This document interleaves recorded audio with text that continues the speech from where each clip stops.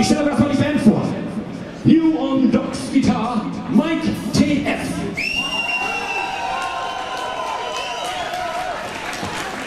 Alt am Docs Bass, Jedenfalls schon lange, von der Zeit her. Money!